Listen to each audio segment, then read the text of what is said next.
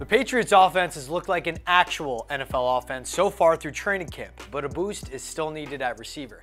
And now we know when DeAndre Hopkins will take his free agent visit. Reported by NFL Network, D Hop will visit the Patriots on Wednesday and Thursday of this week.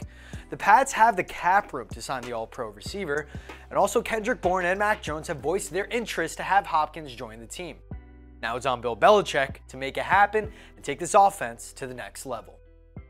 PNC Bank, helping to make banking easier.